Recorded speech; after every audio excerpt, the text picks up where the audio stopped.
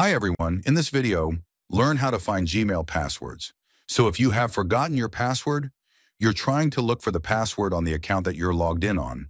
Several methods here of security, several layers of security that Gmail has. But I'll show you how to get through that or get to that. So you're gonna, if you're already logged in and you wanna find the password area, you can go to your profile and then go to manage your Google account. Inside of here on the left, you're gonna go to security. Inside of security, if you scroll down a little bit, it says, how do you sign in? And there's this password section right here. So you can click on that and it's probably gonna ask to verify yourself.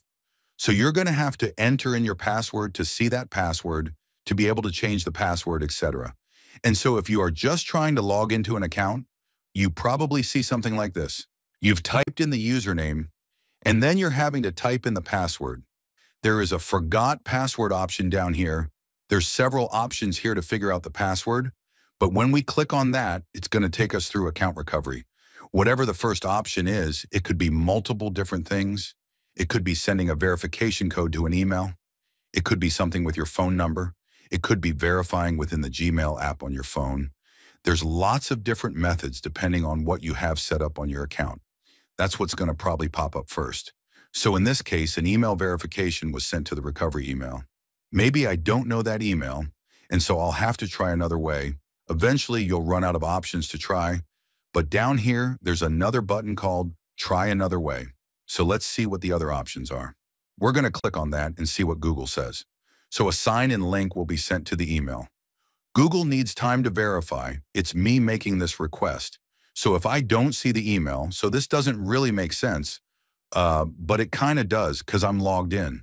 So Gmail kind of knows if you're logged in or logged out, what you're up to a little bit here.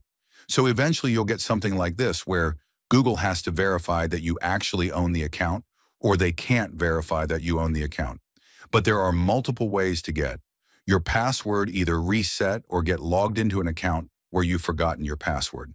And so whether it's sending it to the recovery email that's on the account, which there should be one, sending something to your phone number, anything like that, that's kind of what you have to do is click that forgot password and go through whatever the Gmail options are. You can click try another way. There will be options to try different ways to log in.